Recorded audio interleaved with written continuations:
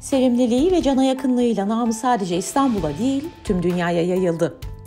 Kangal ve çoban köpeği kırması olarak bilinen Boji, 2021 yılında toplu taşıma araçlarıyla İstanbul'da ilçe ilçe gezmesiyle meşhur oldu. Çok sayıda kişinin gönlüne de taht kurdu. Ancak geçtiğimiz günlerde Boji'ye atılan suç sevenlerini derinden üzdü. Sosyal medya platformu Twitter'da Sağdan Haber isimli bir hesap, İstanbul Büyükşehir Belediyesi'nin kadrolu köpeği Boji tramvaya pisledi ifadelerini kullandı. Metrobüs, tramvay ve otobüslerle İstanbul'un dört bir yanını dolaşan, kendi kartı bile olan Boji'nin tramvaya kaka iddiası ne kadar doğruydu? Açıklama İstanbul Büyükşehir Belediyesi Sözcüsü Murat Ongun'dan geldi. Boji'nin kakasını yaptığı iddia edilen tramvayın güvenlik kameraları incelendi.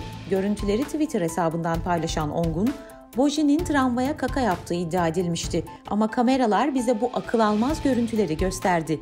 İzleyin ifadesini kullandı. Görüntüde yaşlı bir adamın cebinden çıkardığı dışkıyı tramvaydaki bir koltuğa bıraktığı ve sonra elini koltuğa sürdüğü görüldü. Akıl almaz olay sonrasında Boji'nin suçsuz olduğu ve ona iftira atıldığı ortaya çıktı. İstanbulluların sevimli dostu Boji'ye Ağustos 2021 tarihinde İstanbul Büyükşehir Belediyesi tarafından mikroçip takıldı. Boji'nin bir gün içinde iki yaka arası da dahil olmak üzere 29 durak gezdiği tespit edildi. Ekim 2021 tarihi itibariyle de Boji'nin beslenmesini Metro İstanbul üstlendi ve Kadıköy Moda Tramvay hattında onun için bir kulübe yapıldı.